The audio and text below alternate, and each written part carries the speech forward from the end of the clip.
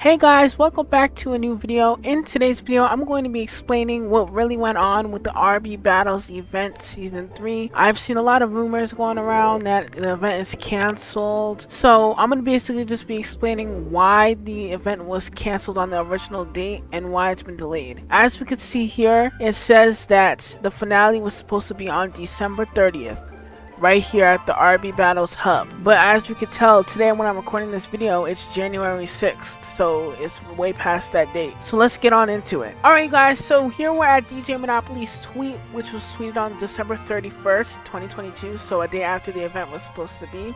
And it says, the finale is 3 hours of 12 tracks with 1080p 60 FPS clips. Currently there's thousands of cuts and now the project is a laggy mess and keeps crashing, despite having a beast of a PC. We can't put a date on this right now, but we'll spend our New Year's Eve editing and we'll update you when we can.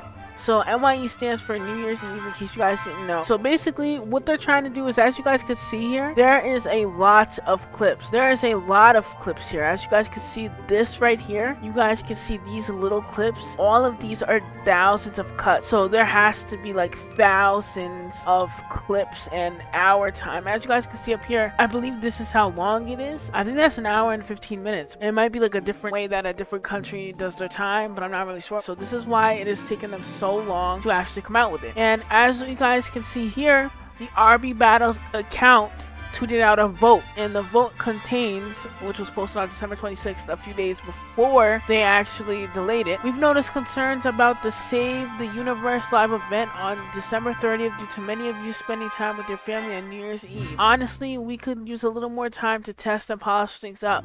Should we kick things off the following weekend, January 7th? And um, a lot of people actually voted January 7th, which is surprising because a lot of people, you know, because a lot of people actually wanted to do the event to come earlier. But basically, it should be coming out very soon. It'll definitely come out. It's not fully canceled yet, okay? So don't worry about the event being fully canceled because it's not fully canceled yet. So anybody who's telling you that it's canceled is pretty much lying because it's it's it's, not fully canceled yet. So comment down below what you guys are thinking. Make sure you guys leave a thumbs up and we'll see you guys in the next one. Peace out.